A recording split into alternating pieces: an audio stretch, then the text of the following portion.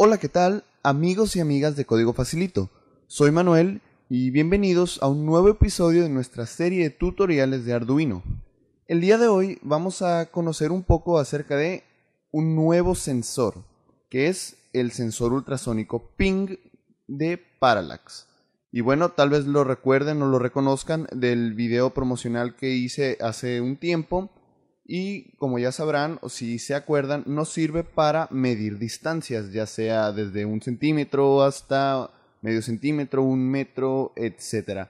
Y bueno, es muy usado para detectar obstáculos o calcular distancias que hay de un punto a otro, etc. Y bueno, vamos a ver cómo se conecta cómo se programa. Vamos a ver que es muy sencillo programar uno de estos sensores en Arduino.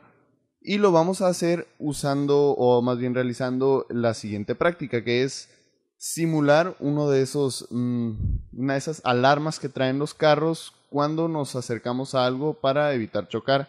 Entonces, lo que tengo aquí es un LED y lo que está arribita del LED es un zumbador o buzzer. Y bueno, voy a acercar mi mano al sensor que tengo conectado aquí para que vean lo que hace. Van a ver que conforme voy acercando mi mano, la alarma se vuelve más rápida o se repite más rápido y mientras la alejo, la alarma es más corta, o bueno, más bien el parpadeo es más largo. Ahora quito mi mano y listo, deja de sonar la alarma. Y bueno, eso es lo que vamos a hacer el día de hoy. Espero les guste y corre intro.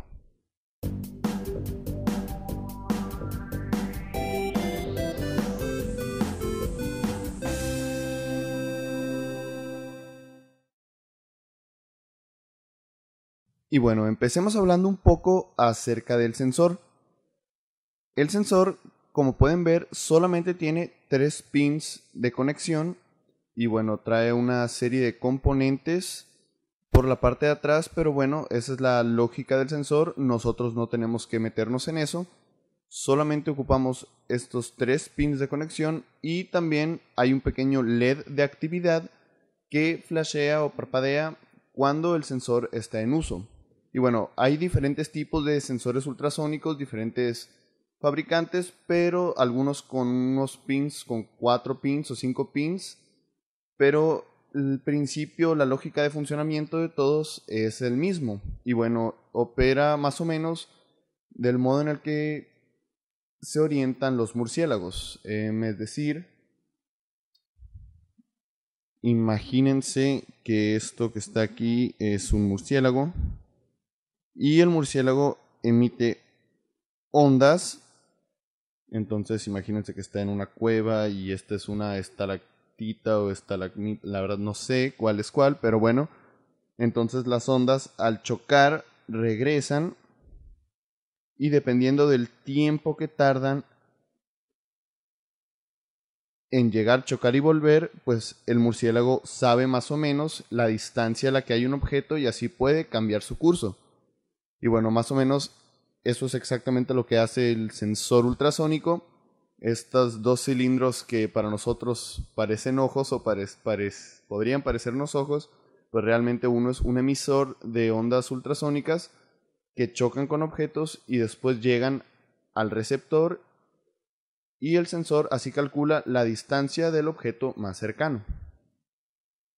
Y bueno, en Arduino es muy sencillo programarlo gracias a que ya hay gente que desarrolló librerías o pedazos de código que nosotros simplemente podemos copiar y pegar para usar en nuestro proyecto sin complicarlos mucho. Así que pasémonos a la computadora.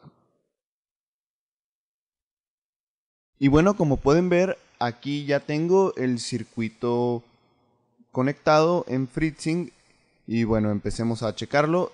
Este sensor realmente no es el sensor ultrasónico que les enseñé, este es un sensor de proximidad infrarrojo lo que pasa es que Fritzing no tiene el sensor ping en su librería, así que agarré este que es el que más se parece. Y bueno, lo importante es que veamos la conexión en sí.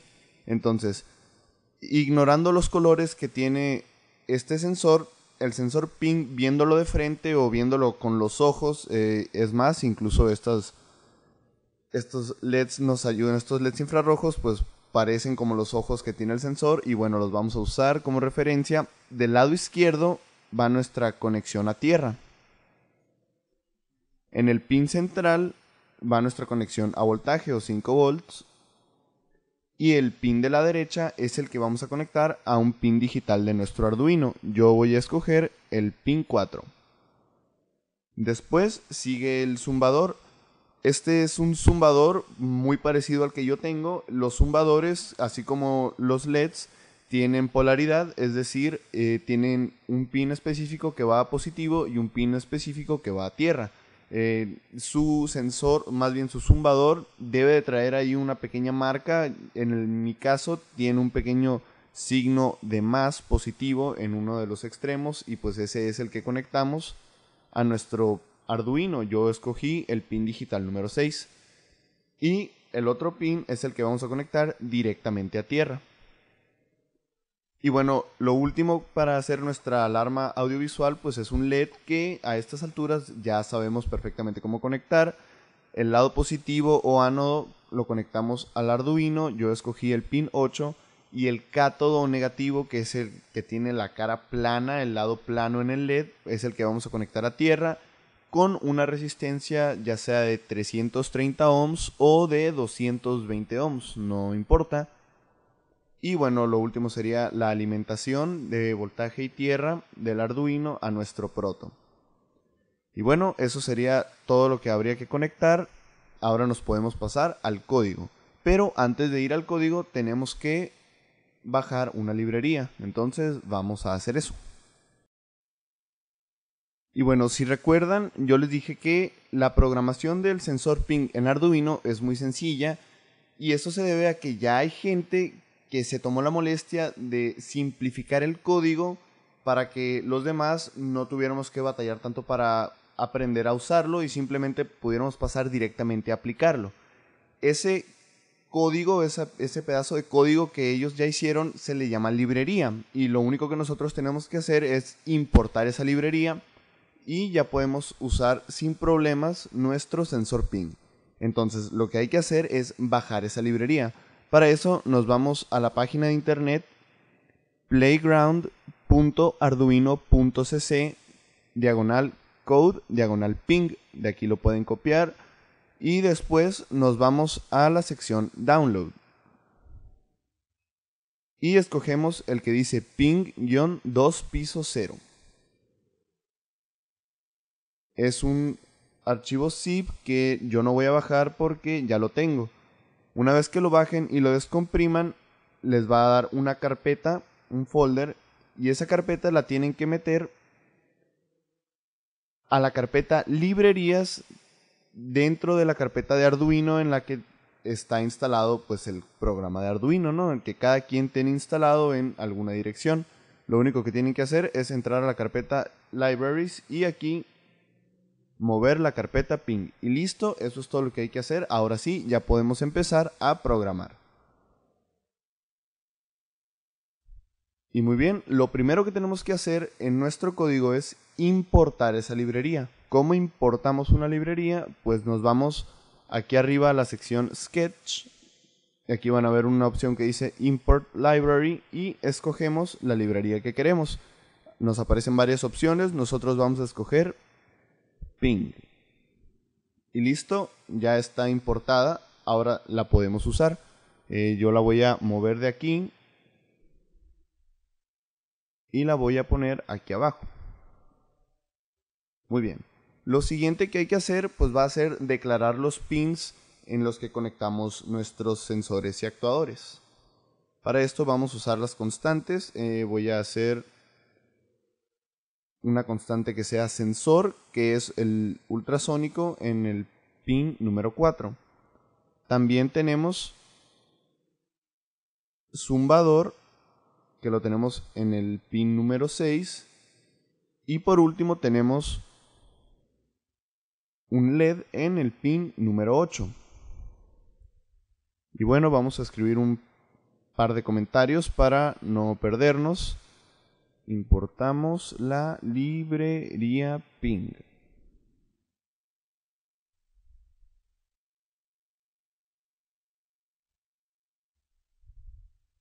Pin de señal conectado al pin 4.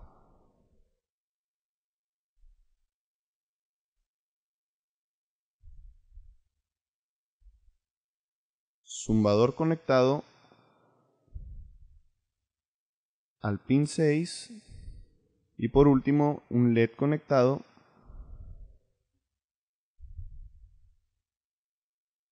al pin 8. Muy bien, ahora vamos a declarar dos variables. La primera variable va a ser distancia. En esta variable vamos a guardar la distancia que detecte el sensor.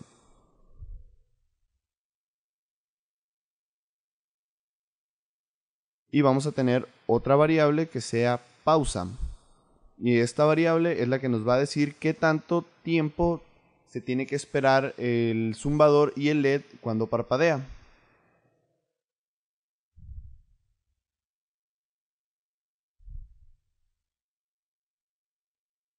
Y bueno, estas serían las únicas variables que necesitaríamos. Ahora ya podemos empezar con el void setup. Ah, pero antes de eso tenemos que declarar la librería, más bien el sensor usando las funciones de la librería. Y bueno, esto tal vez es un poco confuso, pero voy a tratar de explicarlo. Primero escribimos ping para decir que vamos a usar un objeto de la librería. Después escribimos el nombre que queremos que reciba nuestro sensor ultrasónico. Es como cuando escribimos cualquiera de nuestras variables. Eh, yo le voy a volver a poner ping, pero realmente le podría poner también ultrasónico, le podría poner lo que yo quiera pero le voy a manejar, lo voy a manejar como ping. Y ahora tenemos que decir en qué pin del Arduino está conectado nuestro sensor. Para esto vamos a escribir ping y entre paréntesis vamos a escribir sensor, que es el pin en el que tenemos conectado nuestro sensor ultrasónico. Entonces ya sé que aparecen muchos pings, pero realmente cada uno tiene su porqué. El primero es para decir que estamos usando uno de los métodos de la librería. Este de acá es con el que le decimos a la librería que en ese pin digital de Arduino tenemos conectado nuestro sensor y el que tengo aquí en el medio es el nombre. Este es el que realmente yo le podría haber puesto cualquier otro nombre, pero le voy a dejar ping. Y bueno, ahora sí, entramos a la función setup y vamos a declarar nuestro zumbador y nuestro LED como salidas.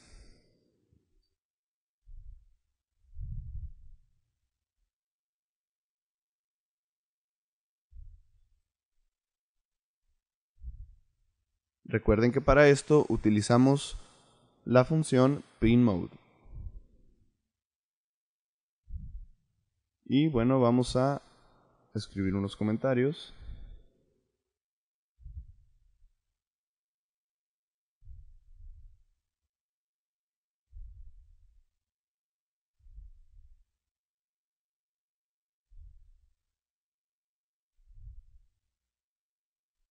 Y también voy a escribir un pequeño comentario para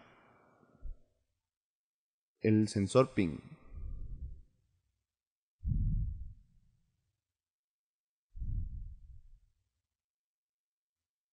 Y muy bien, ya podemos pasar a nuestra función loop.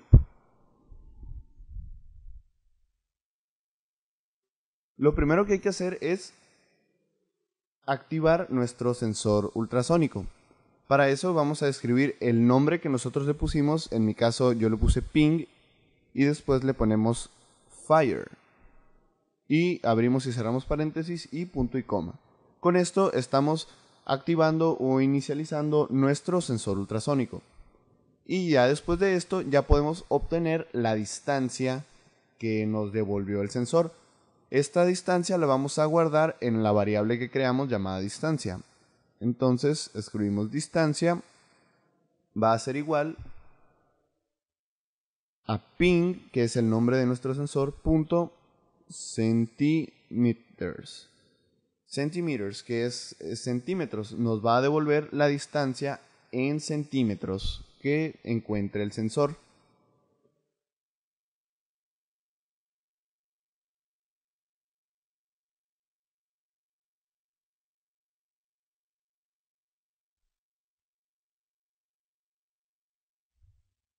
Y muy bien, ahora hay que usar esta distancia. Entonces, eh, yo voy a restringir o podemos nosotros limitar el rango en el que va a funcionar nuestro sensor. Em, yo voy a decir que nuestro sensor no va a detectar objetos que estén más lejos de un metro. Sin embargo, si están dentro de un metro de distancia, entonces ahora sí tiene que empezar a sonar la alarma. Entonces vamos a hacer eso con un if. Y vamos a preguntar si distancia es menor a 100. 100 por ser 100 centímetros, que es el equivalente a un metro. Y muy bien, en caso de que sí, vamos a calcular el tiempo de espera que tenemos que tener. Recuerden que el tiempo de espera lo vamos a almacenar en la variable pausa. Entonces vamos a agarrar distancia y la vamos a multiplicar por 10. ¿Ok? Entonces, ¿por qué estamos haciendo esto? Recuerden que solamente vamos a activar la alarma si el objeto está a menos de un metro o que es el equivalente de decir 100 centímetros. Entonces, digamos que esto es menor, pues serán lo más allá que podría estar, vamos a decir que son 99 centímetros.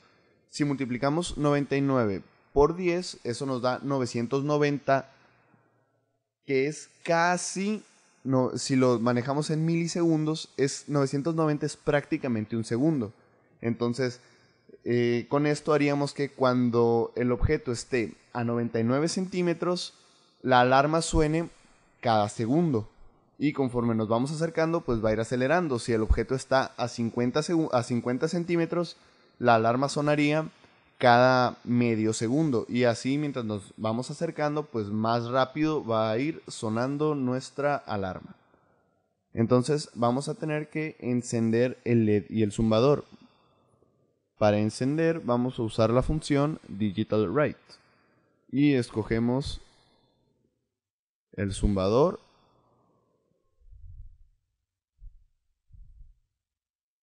y el LED.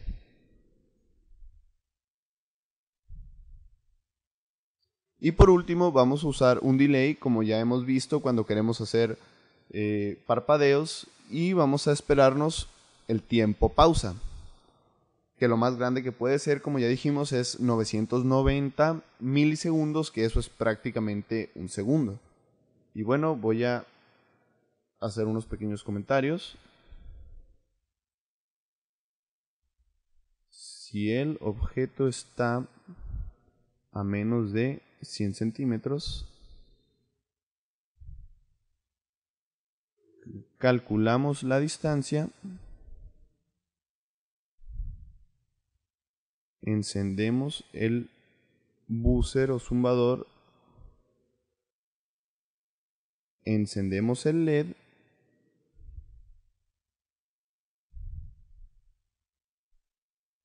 y esperamos el tiempo de pausa.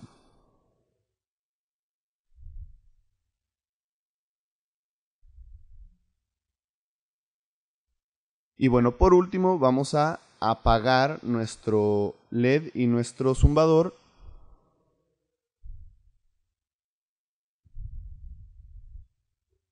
para hacer el efecto de parpadeo.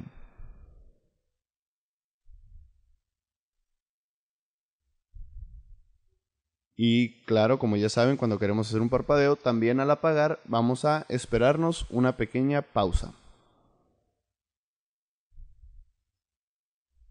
Y bueno, escribimos estos comentarios.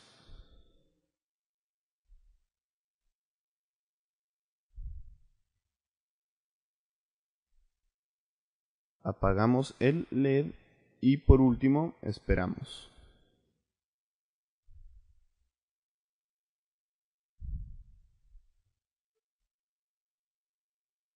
Y listo, esto sería absolutamente todo el código. Como pueden ver, pues es muy fácil. Les recuerdo, es muy importante que incluyan la librería ping porque si no lo hacen, el código no va a funcionar.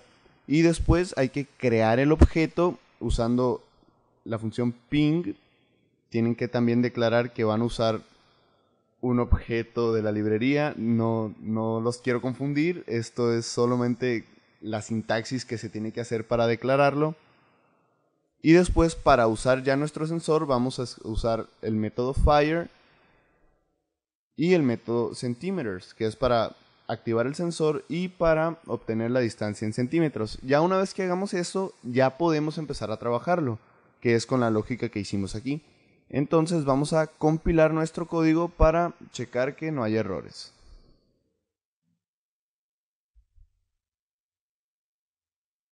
Y bueno, ya se terminó de compilar, quiere decir que no hay ningún error. Ahora sí podemos pasar a cargarlo a nuestro Arduino y ver su funcionamiento.